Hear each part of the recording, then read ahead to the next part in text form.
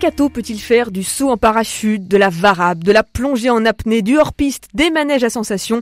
En bref, exposer sa vie et prendre des risques. Alors en tant que jeune, ça peut être assez tentant de pratiquer ces activités, mais dans le fond, est-ce bon, est-ce bien, est-ce moral?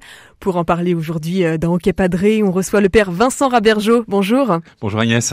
Alors, avant de débuter cette émission, est-ce que vous voudriez bien nous aider à définir ce qu'est un risque en tant que tel? Commençons d'abord par regarder l'étymologie du mot risque.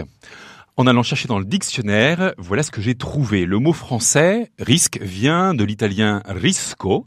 Quel accent, quel accent Merci, merci.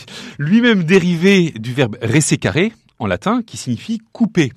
En fait, le risco au départ, c'est un rocher pointu qui risque finalement de couper euh, le bateau en deux, c'est-à-dire c'est un écueil sur lequel pourrait venir s'échouer un navire. Donc c'est un danger, le risque au départ. Il faut distinguer le risque subi et le risque affronté. Dans la première signification, le, risque, c'est un danger éventuel, plus ou moins prévisible, inhérent à une situation ou à une activité. Je vous donne un exemple. Je contracte une assurance contre le risque d'incendie. Et puis la deuxième signification du risque, donc le risque affronté, c'est quand euh, celui-ci est la possibilité hasardeuse d'encourir un mal, donc euh, oui, mais avec l'espoir d'obtenir un bien. C'est-à-dire? Je prends le risque de faire un tour du monde à vélo, donc bah, avec tout ce que ça veut dire, les mauvaises rencontres, les chutes, les crevaisons, euh, les mésaventures de, tout, de tous ordres, pour découvrir de nouvelles personnes et de nouvelles cultures. En fait, vous parliez tout à l'heure du saut en parachute. C'est vrai, vous allez prendre un, risque de vous fouler une cheville en, arrivant au sol, mais en même temps, le plaisir que vous aurez pris à, sauter est immense, quoi.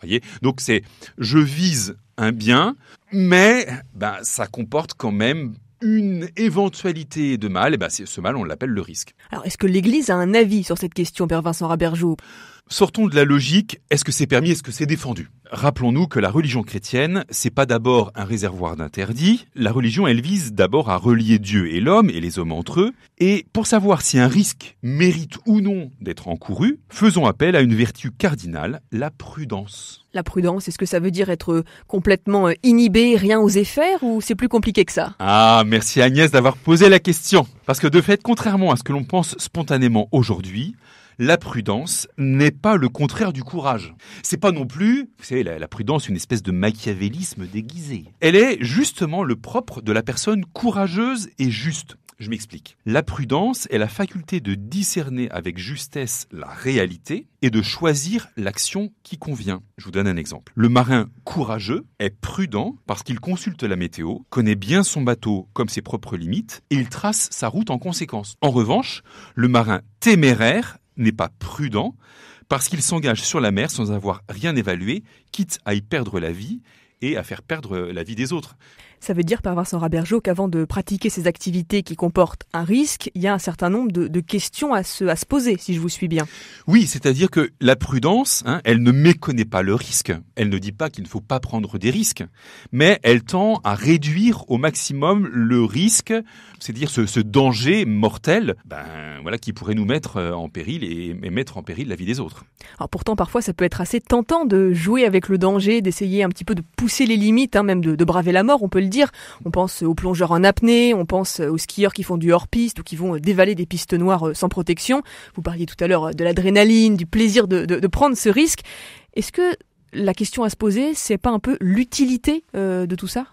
Alors c'est vrai qu'on peut se poser la question pourquoi on prend des risques? Alors souvent on associe la prise de risque à la jeunesse. Alors loin de moi l'idée de, euh, de, de, dire que les, les, anciens ne prennent pas de risques, mais c'est souvent plutôt à l'adolescence quand on est jeune et qu'on a, euh, j'irais, des moyens physiques euh, bien en place qu'on va prendre des risques. Rouler à, moto à fond sur euh, l'autoroute, faire de l'exploration urbaine sur les toits d'une ville, et puis bah, tous les exemples que vous avez donnés voilà, sont autant de, de prises de risques. En fait, un adolescent peut vouloir tester ses propres limites en mettant son énergie au service de la prise de risque. Et paradoxalement, l'éclate, comme on dit aujourd'hui, peut cacher un désir de savoir jusqu'où on peut aller pour se sentir vivre à 100%. La prise de risque, elle devient souvent la transgression de la limite. En découle une conception, moi que je trouve un peu fausse, de l'émancipation et de la liberté. Mais connaître ses limites et accepter les limites que se donne la société, elle fait partie hein, de ce que nous avons désigné comme la vertu de prudence. Et moi, c'est ce que j'appellerais le courage du réalisme. Oser reconnaître que mon expérience, elle est nécessairement restreinte, que je ne peux pas tout. Euh, et j'aime bien aussi ce que, disent euh, certains euh, psychologues et, pédiatres quand ils disent que quand un, un ado transgresse la limite, c'est souvent justement pour se voir poser un cadre. Mais certains métiers, certains états de vie, de fait, amènent les personnes à exposer leur vie. Euh, si on prend l'exemple d'un pompier, d'un militaire, d'un démineur, que sais-je, d'un sauveteur en mer, exposer sa vie, c'est leur quotidien. Voilà, et, c'est là que la, deuxième signification du mot risque peut, nous aider à comprendre. Hein. Je vous ai dit que euh, voilà, cette deuxième signification, elle, elle définit le risque comme un aléa euh, qu'on assume parce qu'on vise un bien plus grand. Alors, le bien plus grand pour notre ado, c'est l'éclate. Et pour euh, notre pompier, notre militaire, euh, je sais pas, notre sauveteur en mer, eh bien c'est justement le fait, eh bien, de risquer sa vie pour la vie des autres. Hein. C'est la notion de sacrifice alors qui prime. Il y a un petit peu de ça, exactement. Hein. Et, et c'est là que finalement, on rejoint quelque chose de très fondamentalement ancré dans l'écriture et, dans notre vie chrétienne. On peut dire que dans la Bible, il est fréquemment question de la transgression des limites. La, transgression négative, c'est celle par exemple qu'on peut associer au livre de la Genèse. Hein. Vous savez, quand l'homme et la femme euh, décident d'outrepasser l'interdit de ne pas manger euh, du fruit de l'arbre de la connaissance du bien et du mal, pour un, bien, en tout cas ce qu'ils considéraient comme un bien plus grand, c'est-à-dire un, hmm, bon fruit savoureux, et puis aussi le fait d'être comme des dieux, Hein, puisqu'ils avaient maintenant accès à la connaissance du bien et du mal. Et puis, il y a euh, le risque pris par Jésus, par exemple. Hein. Je, pense à lui, euh, parce qu'il prend beaucoup de risques. Ce qui est paradoxal, c'est qu'il est à la fois celui qui se révèle euh, comme l'accomplissement de la loi, hein. il, nous dit bien, je ne suis pas venu abolir, mais accomplir, et il est en même temps celui qui transgresse plusieurs lois, je pense par exemple à la transgression de la loi du Shabbat hein, pour opérer des guérisons. Ou, même chose, autre transgression, il fréquente les infréquentables. Il va toucher un lépreux pour le guérir. Il va fréquenter les publicains, les prostituées. Mais par amour, là, c'est différent. Exactement. Hein. Ce faisant, hein, euh, Jésus, il court le risque d'être mis à mort. Alors, je vous cite par exemple la fin d'un épisode, vous vous rappelez, dans l'évangile de Marc, il euh, guérit un, homme dont la main est desséchée. Et euh, suite à cet épisode, voilà ce que dit Saint Marc. Une fois sorti, les pharisiens tinrent aussitôt conseil avec les Hérodiens contre Jésus sur les moyens de le faire périr. Mais ça, Jésus sait très bien les risques qu'il prend. Hein, il n'est pas fou, c'est un bon juif, il connaît bien la loi, mais simplement, il vise un bien plus grand, qui est finalement la vie de l'homme, mais la vie avec un grand V.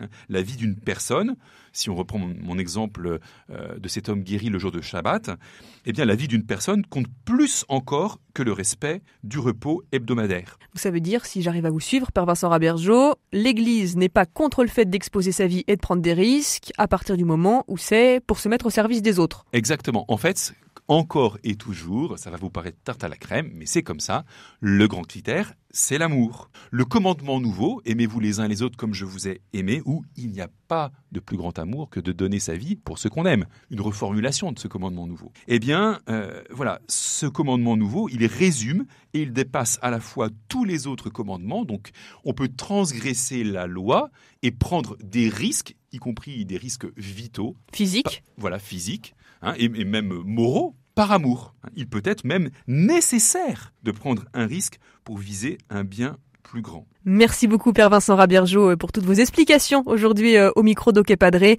Bon, on vous demandera pas de venir faire du, du, saut en parachute ni de la plongée en apnée avec nous, on l'a compris, mais on prendra, euh, comme vous nous le recommandez, le risque de l'amour pour celles et ceux qui nous entourent. On vous dit à bientôt. Merci Agnès, et bientôt à tous.